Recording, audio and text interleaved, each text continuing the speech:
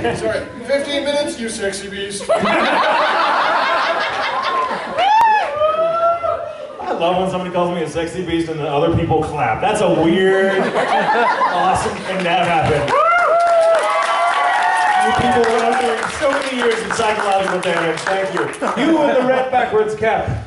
Uh, so I was a huge fan of that anime show, and now that it's been a couple years, do you still feel like it ended right around that time? It was like a good point to end it, or do you think Yes, it's I do. I mean, we could have done it forever. I mean, we enjoyed it, but you know, Terry and I both got busy, and it was really hard to kind of juggle with everything we did. And I don't want you, I don't want you to think that we stopped doing it because we're like, I hate you, get away from me. Um, that we couldn't stand. So this Terry and I are still uh, best of friends. But we had been doing it for four years, and that was a long time to be doing anything, especially when, when in this business you're used to doing something maybe for eight months and then you move on to something else, because that's just an actor's life. So four years to an actor feels like a small eternity, and it was like, well, why don't? And we, we sat down and had a talk. We're like, well, maybe in a few months, let's let's kind of think about ending it because I want it to end well. I don't want there to be like a whole like last season that jumps the shark, and we're clearly just recycling the same old questions and the same old stuff. So we, we ended it when we did because we loved it, and we thought if we end it here, everything we've done is good that point. We let it go, there's going to be some bad stuff, and I don't want this to ever get bad or tired or boring. So let's end it while it's while we're ahead. So, and I miss it, sure, I miss it, but I think we ended it, and I think Terry agrees with me, and I know Stephen agrees with me uh, that we ended at the best possible time. Ah, I get emotional. Um, very back, very back. Yes, yes. So um, I really appreciate all your work, and uh, the first time I watched an anime with my boyfriend was Spice and Wolf. We kind of connected as the song and everything, so I appreciate again all your work. But um, as much as I like that character, it was a s- slower tone, still really smart character. I was wondering how does that character uh, compare to the other more eccentric, like in Tokyo Ghoul? I really like. There's Yeah. Uh, you know, in my career, I've played so many different types of characters over the years, and there's always. Uh, so, speaking broadly, if we kind of divide the characters, like they're the really crazy, crazy weird ones that are so much fun to watch. They're just train wrecks, beautiful train wrecks. They're, they're high energy, they are high strung, they are. They are the characters we love to watch because they just walk into a room, completely devastate everything, and then leave like nothing happened. And they're like France is that kind of character. Uh, Komui Lee and D.Gray-man is that kind of character. Isaac and Miria are those kind of characters. Um, uh, uh, Tsukiyama is definitely that kind of character.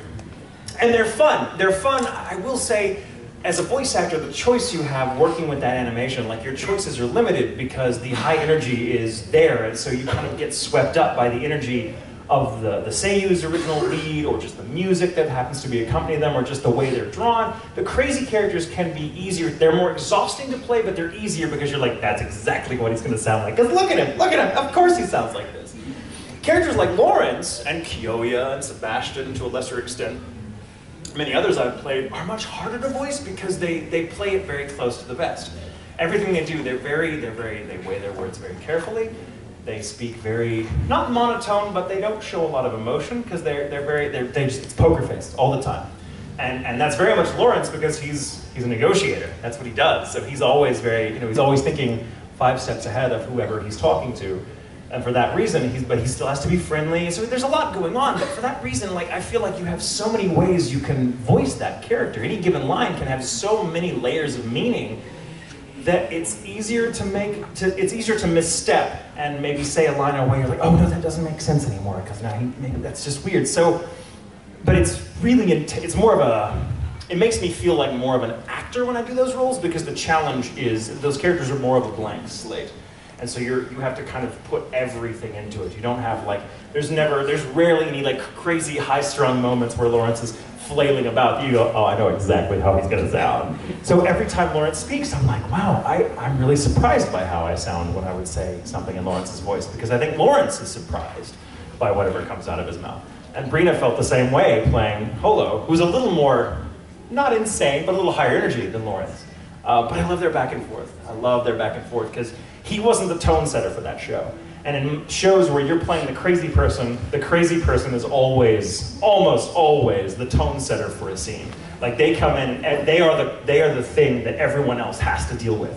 But if you're the character that has to deal with the crazy thing in the room, Lawrence and Holo, um, it's a different challenge. It's a different challenge. It's more like having to. It's more like playing tennis and like just trying to anticipate the other actor's moves.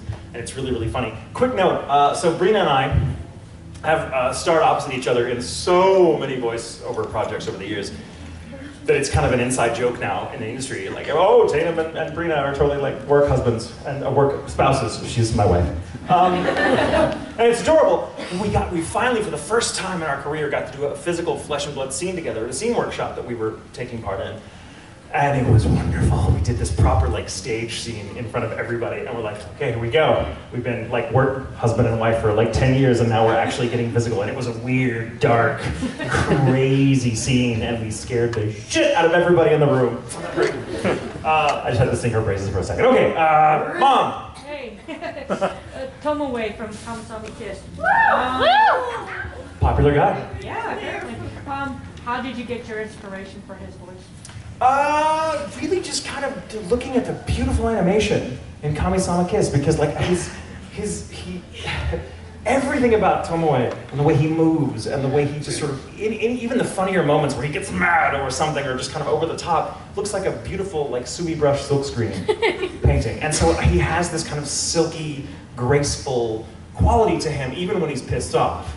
Um, and that's just so I just kind of I would get really swept up in kind of this this weird tactile feeling of like silk and like the smell of bamboo. Somehow, was something about that show just made it very weirdly uh, sensory for me, and so the voice just kind of came out because he's the spirit of all those things. Like he's he's this sort of the spirit of all those qualities. So of course, you know, I, I knew he would smell like this. He would sound like this. His blue flame to me smells like like cinnamon and earth. That's, that's weird, I know, but that's, that's like what kind of goes in my head. And so that was my inspiration. And of course, the brilliant Seiyu that, that brought to him to life first is always an inspiration. He sounds gorgeous. yes. If Tamaki confessed his love to Kyoya, how would Kyoya react? We don't have the money. I think, I don't, wow. I think he would just, he would probably just kind of like very gently uh, crush a pie in his face and call him a dumbass and walk on and then cry in the corner. Like I, yeah, oh my God, no, don't tell me that. No, I'm like, I love that, I love that. Ah, you. Have you watched 50% off yet? Yes. I love watching parodies of what we do. I think they're funny, and I think that people, I think the, um, uh, what, uh, uh, what are they? Team Four Star Woo! are hysterical. Really, really funny people. I know several of them, and they're just delightful. Uh, someone I haven't picked on yet. You. Um, when you got cast as Kyoya, I believe Troy Baker was supposed to get the role, but then it didn't work out. Right. And he was like, "You just did such a better job than I would have ever done." Is there a role that Troy is such a class act, though. That's like Troy would have been so badass as Kyoya. Let's just all be adult about this. Like Troy would have been amazing, and I'm just very lucky to get because I was I was kind of an unknown quantity at the time. So Troy was much bigger name, still continues to be with very good reason. And so when he was not able to take the role, I was like, ah, ah. I wasn't told that until much later. When he told me that, uh, no, he didn't tell me that. Excuse me, Caitlin did, and then he confirmed it, and I was like, "Really? I was in your shadow? Holy shit!" And he was just wonderfully gracious about it. But that's not even your question. I'm totally rambling. Go on. No worries. Um, is there a character that you got passed up on onto, and then someone else got, and you were like, "Dude, you nailed that." No, no. Every time I go like, I walk in and go, "Awesome, that character," and I go back into the lobby where all the other actors are waiting. Go, go home, bitches! I nailed it. Uh, I. Yes, frequently, frequently uh, in this. I mean, so the reality of being an actor, for those of you that want to be an actor, let me tell you real quick. Uh, in this business, particularly voice acting, you get maybe one, you land one role for about every hundred you audition for. Uh, and that may, you know, so it may be months, even years you go without. I mean, I've luckily never had a really big dry spell, but there's plenty of times where I like had my heart set on a particular character, which is always death. No, never, never have your heart so set on playing something that you're going to be heartbroken when you don't get it. So you just kind of have to be zen about it. And then you, you know, but then you do, yeah, a friend. We're all friends and family. So like someone else, like Ian, may get a part, and I'll be like, you son of a, no, you sound so good. um, I, I kind of resolved this that tendency in myself years ago by just dealing with rejection in the way of going, you know what, I love, obviously there's something about the character that draws me as a human being to them and makes me want to perform them as an actor, but it's the, it's the human connection first. It's, my, it's the character that matters. So if I don't get the part, whoever does, if they sound great, I'm gonna love it and forget that I ever wanted to, to, to be in the show because I'm just like, it's the character that, that draws me. And there's always other work, you know, there's always the next thing to try out for. I will never tell you what roles I lost to other amazing actors because, you know, I don't wanna, I don't wanna undermine their performance by going, oh, can you imagine me doing that? Yeah, just close your eyes for a minute. No, I mean, there's, I've been, repla- I've been not replaced, but I have been, uh, I've lost auditions to just about every one of my colleagues at some point. And I've kicked their asses and other stuff too. So, you know, it's, it's nice, you know, dynamic, goes back and forth. Ah, you wouldn't have the yes, you. Yeah. Five minutes. Five minutes. I'm uh, you told us about, about how like it, frequently in your imagination you imagine like the stories about your characters like in their everyday lives, like after the show is done. I imagine you've also like pictured interactions between those characters, possibly even violence and push because they just do not get along at all. Care to tell us some of the more interesting stories that you've Uh, my favorite is inter- any interaction between France and Sebastian. Which in my head always plays out something like, oh my god, you're so sexy. Do you want to come work for me? No. uh, there's others. I've thought of, I've thought, for some reason, I had, I, I had a dream one night of Scar and uh, Dororo, Sergeant Frog, like in an arena together fighting and Scar was like shirtless and just like so ready to like whatever, but also super confused that his opponent was this tiny little frog thing in a mask. And he just kind of, and Dororo was like, that's right, you do it. And boom! Like, yeah, I, I, it's, my, it's funny. I, I, in my head, they're all like hanging out, having dinner or something, and bitching about politics or whatever. It's, it's quite boring, actually. But uh, let's see, more toward the back. Uh, you, toward the back, white shirt. Yes, you just pointed to yourself. After your accidental sergeant, did you Wait, can I stop you for a moment? Fuck you in that voice. I am not helping you become an actor. You will take work away from me. Like, I have a question. Jesus Christ! Where did you come from? Sorry, go on. After your accidental sergeant, uh, did you ever think or even hope that you would achieve what you did? I didn't understand a word you said. I'm just lost in your eyes. Um, so after my accidental starting, did I did I Think or hope you'd get where you are now? I had no idea this would happen. I had none. I still get weirded out by it because I'm like, I'm, I'm like, hi. And I walk by and a bunch of people are like, oh my god, hi. I'm like, hi, what? Hi, hi, hi. I'm just a crazy guy in a padded room making funny voices. Happens to be a mic in front of me and I use it for stuff. I'd be doing that anyway. um, I, I don't. I really don't. It's weird. So I, I will say though, before I started doing this profession, uh, I was uh, in marketing for a long time, for about seven, eight years, something like that, which is felt like forever because I didn't like it. I mean, I, I it paid the bills and I worked with some wonderful people, but I I wasn't fulfilled by it and I didn't. You know, I wasn't terribly good at it either, so everything was always stressful and a struggle. And then I started doing voice acting full time, and that was a terribly like an anxious plunge I made. When I got the opportunity to go full time, I was like, I don't know if there's any going back. Go- Giving up the life of security and a 401k and and a nine to five job and, and health care uh, to be self-employed.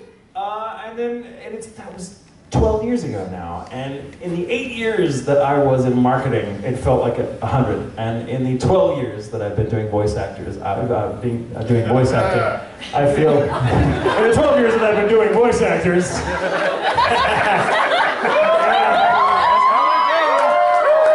I've only had three cases of VD. No, okay. That's so terrible. Now, in the, in the 12 years that I've been doing what I do now, uh, I swear to God, I started this a year ago. Like, it feels like time has just flown.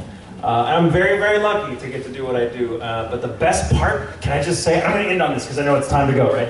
The best part, the best part about what I get to do, it's fun. You get to work with friends and entertain people and breathe life into characters that make people feel something and maybe help them cope with something in their own life that you would never ever imagine it touches people in the way it does.